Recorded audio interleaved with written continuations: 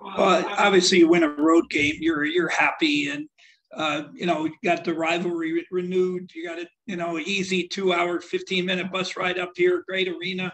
Uh, you know, great history to this game, and uh, we knew they were a wounded animal. They had a bad stretch. Um, we thought they, you know, you got exam week, and we thought they'd come out and play hard and get after us, and um, they did. They jumped on us. Uh, I thought we fight our, we fought ourselves again on the offensive end, uh, trying to make tough plays instead of easy plays. Um, you know, we kind of Ish loses his poise. I didn't, I didn't even see the play with the technical, but now he's got to sit. Uh, but that group that came in, Mike and uh, Selton and uh, you know Nijel Markquis, that group that finished the half did a great job defensively. Gave us a nice boost and 11 straight shutout, 16 to 2 run. You take the lead. So you start them to start the second half. Um, and then they don't have the energy that we needed. And we had to use some other guys and kind of mix it in. But uh, probably two, you know, game of a, some runs. They run to start, our run to finish the half. They run to start the second half, and then, um, you know, then back and forth. And then we made some big plays down the stretch. Obviously, it's nice to have Nijel back. Um, you know, not a perfect night, but he still ends up 15, 8, and 5, and two, two uh, turnovers, two steals. But I thought the, the bench was a big difference. If you look at the plus minus, uh, Selton plus 15, Mike plus eight, Luke plus seven, uh, kind of just on and on. If you look at those guys, you know, they were big difference makers and the big guys, you know, Davion and Casey, you know, between the two, I think it's 15 and, and or 18 and uh, 15 rebounds, which is which is impressive for those guys. So we got them involved. Uh, we thought we could take advantage of them inside. We called some quick hitters, got it into them. And, you know, you can see Davion slowly but surely. Obviously, I wanted it a little sooner than this, but he has made some progress and, and hopefully he feels good about himself and doesn't uh, doesn't let down. Uh, our strength coach, AJ, keeps telling me, don't compliment him, coach, because we can't have him, we can't let him stop now. He's got to continue moving forward. And and taking care of his body and giving giving himself a chance to be successful and be the player he should be. Thank you, Coach. The first question to Kellis. Yeah, Bruce, just why do you think the defense was so effective tonight, especially against their threes? Well, you know, they start out the game. I, think it was five for the first nine they made, and and there were a couple long ones. And but I thought we what we did was settle down and got protected the paint. That was the key against them. Not let them get in the paint because Virgin, McGowens, and and Which Wilcho, uh, Wetcho, they all can get to the paint and make plays. Even Walker is talented as a big guy to have the ball in that mid post and make some plays and passes uh, inside out. Um, but we, you know, once we stopped that and kind of got the wall going, um, our the turnovers helped us get some transition at the end of the half, allowed us to get some easy baskets. But the I think the big thing off of that was we got to the shooters and made them a little tougher, a little contested. I the one big emphasis this week was no matter where they are, we had to get hands up and we had to contest those shots to make them a little tougher.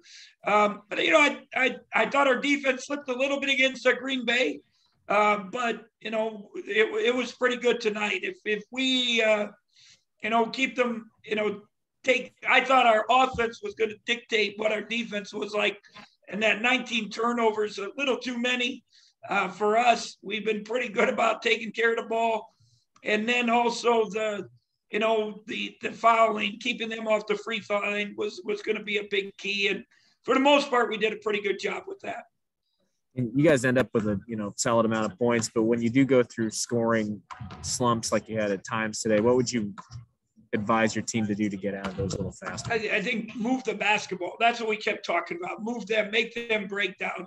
Any team, even us, we'll break down if you keep us going side to side. Um, and and that was I like when I said earlier we fought the game, and we hadn't done that in a while. And you know we and then shoot the ball on the on the three point line. I was so happy. I told the guys when we got here this morning, there was only one line on the court. There was not the the high school line. There wasn't the NBA line. And you know, I was like, now we're gonna, you know, just get on that line. But we still insist on shooting some some four or five feet beyond the, beyond that line, and there's no need to. You don't get any more points. But the turnovers, forcing the action, letting it come. Every game's different. Everyone defends differently, and you got to adjust to that. Thanks, Bruce. Yep. Uh, next question to Michael Goins. Yeah, Bruce, how gratifying is it to get the 22 points off turnovers to, to convert on a lot of those opportunities? Yeah, you know, we we did a good job at that was big part of that stretch to end the half where we got some, you know, we made not only got the steals, but we made the right plays, got to the hoop, uh, got layups. We've been working on just we don't have to settle on three on ones, three on twos for threes. We can get layups and we, I think Mike got an and one on one of them. So uh, that, you know, it's something we've worked on, we've talked about, we've showed them. Uh, we're getting more and more efficient. If you if you take advantage of our defense and create offense and make the right plays and reads, obviously it's going to help us. And do you feel like as much as anything, you're able to chase the shooters off their spots? Yeah, I think you know one keep them out so we don't have to help keep them out of the paint. I, you got to you know, we had to settle down. Those guys, they're good. I mean, Verge is good at getting inside outside move with the dribble, getting to the paint, making people help. McGowens, um, you know, they, they got some guys that can make some plays and they spread you. They got great spacing. You know, it's a little different. They're playing off the five and that that mid post and cutting and you know got us on a, a, a maybe a back door, a back cut. Now now they kick it out. Um, you know, I th- you know, and I thought Casey to end the half, he fought the big guy, made him catch it out a little further, which allowed us to get into their shooters, get into the, the handoff guys, made it a little tough for them. And do you feel like your efficiency went up at about the last 30 minutes of the game? You know, yeah, obviously you get down, what was it, 25 to 15. And, uh, you know, the rest of the game, we outscored them 52 to uh, you know, what would that be? Uh, my math is usually pretty good, 30, 33 or whatever. No, something like that. So um, 25 from 58, that's, that's, yeah, 33. So um, pretty good, you know, pretty good run. Uh, obviously, you know, we, and again, we just got, we can keep getting better. I, I told them after, obviously, I'm happy. It's a road win. We got two road wins. Um, but I think the best thing is our team can get better and we got to want to get better. Uh, one of my quotes this week was, uh, "If you're not willing to learn, no one can help you. But if you're willing to learn, no one can stop you." And and that's that's us. Got to be us moving forward. We got a few guys that are a little stubborn, and uh, you know, I I tell them I don't want to take their game away. I just want to teach them how to play the game the right way. And if they can listen and learn, they can be a much more effective. Thanks, Bruce. Yeah. Uh, next question to Cole. Hey, Coach. I asked Nijel this question when he was on here earlier with us, but when you get into a situation like you were in the beginning part of the game where the threes just weren't falling, is that something you kind of tell your guys is, hey, maybe go to the hoop? Or I know you said you want to keep them playing their game, but what's the message from you in a situation like that? Well, I didn't, some of those threes were good threes. Some of them were a little off the line. Um, you know, and and now, hey, you know, when when were we scoring? And when you know, make the extra pass, get in the paint. Obviously, the points in the paint have been really important for us. I think at halftime it was 22 to 8. I could be wrong, something like that. So did a better job of, you know, it, sometimes they're not going. I thought we shot so well we put a lot of time into shooting this week because we had more time. And we shot well this morning at shoot around. So you hope you know, hey, this is going to be a, you're going to be hot. And they, they've struggled against people. People shoot 35 from three against them, but it, it didn't go. So now you got to find other ways to get in. You got to get to the hoop. Obviously, Mark had a huge one from way out to, to kind of ice that thing. But, uh, you know, it, it you got to keep playing the game and got to find other ways to score. And that's where our big guys were important. We got it inside to them, got to the paint, drop offs, uh, to layups to free throws, uh, and you know that's that's every game. You got it's every game is different because people defend differently. The ball bounces differently. It, it goes in some days, it doesn't others, but you still got to find ways to win. And then last question I have for you is what did you think about the lineup with Markquis the first time that you had Markquis and Nijel in there to start the game? Well, obviously it wasn't a good start to to it, and I don't think it had anything to do with that. I and I, you know, again, Nijel has a pretty good numbers, but I don't think he's in rhythm. He's trying to figure it out. I thought he took a couple off the line that, you know, he, you know, let it come two for nine for three. Um, you know, obviously he's been really, really good, but you don't practice even a good player like him for eight nine days and then you don't you play one game and then have a week off uh, it'll it'll take him a little time to get that back. But uh, you know we'll see. Uh, it's not our best defensive lineup but i really think it's our best offensive lineup. And you know again if you play well you're going to stay in the game. And uh, you know Selton didn't start he plays 30 minutes. Um, you know ish you know has the unfortunate i don't again, I don't know the call or the play. I didn't see it. I'll have to watch. But, you know, to his credit, he doesn't start the second half.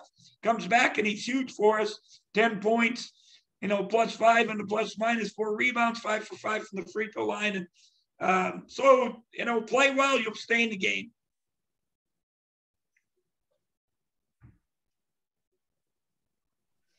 Any other questions for coach before we let him go? Uh, Ryan, Ryan, Hey Bruce, uh, I guess I'm making up uh, for not having a question the other day for you in post game. But uh, yeah, before we found out, what did you feel like Mike brought tonight for you guys? I, you know, and again, you got to give him credit, his maturity. Um, I talked about him coming off the bench plus eight. I thought his defense was really good. Uh, two assists, no turnovers, five points. You know, just he did a lot of nice things, and he and he was saying the right things in the huddle. Um, and and you know that he did he did not get out of bed till Tuesday. And he all he could do was shoot on Wednesday and Thursday without anyone else in the gym. And he had to practice with a mask on on Friday and Saturday. So, um, you know, you, you got to give him some credit, some maturity, uh, which we're going to need. And, you know, it would, I know he wants to get going offensively, and I think that'll come. But, you know, again, he's he's really important. And with that knowing how to play, helping us make the run, playing for K State, you know, making the right plays, and and that was he was a big part of the game. I, I again, our bench, Luke, him, you know, Selton, Davion. Uh, you know, at times you never know who's going to be better. So uh, I hope that depth is is something that carries us a long way. And, and then last thing uh, for me, Bruce, you know, pretty good environment here tonight. How much do you think the games in KC and in the one in Wichita maybe helped you guys already be prepared for this kind of environment? Well, it's it's you know to have this to go to Wichita to go here to play on the road. Uh, you know, great. It's uh, the first time I've been in the arena. I played in the old place, um, but you know, great. It's an NBA arena. It's unbelievable. Credit to them. Uh, you know, it, it looked pretty full, at least from what I could tell. Um, it got loud a couple times, but I thought we kept, you know, we kept that quiet by making the different runs. So all those experiences are really good for us playing these games. Obviously, we would like to have Marquette back. Um, you know, we'll have a lot of, we got 19 high level games coming after the new year. So uh, actually 20 with the tournament. So you'll, we'll have a chance to get one back there. We just got to worry about keep getting better. Uh, next question for Arnie Green.